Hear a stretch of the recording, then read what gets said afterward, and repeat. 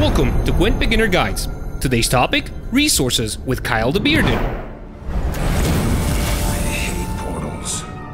In Gwent, the Witcher card game, there are four main resources. These resources are the rewards keys, ore, scraps, and meteorite powder. The rewards keys are points that you can spend in the reward book to collect the other resources as well as cosmetics. Ore is used to buy card kegs. This is the best way to collect new cards for your collection. Another way to collect cards is to use the scraps resource to craft new cards.